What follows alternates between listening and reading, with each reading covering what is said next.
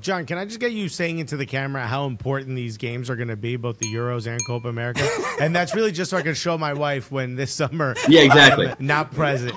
The following is a paid program announcement. Hi, I'm John Strong. If you're a significant other or someone that is trying to give up four weeks of their life to watch nothing but soccer, I can assure you how legitimate uh, and non grounds for divorce that is. Yes, exactly. Thank you.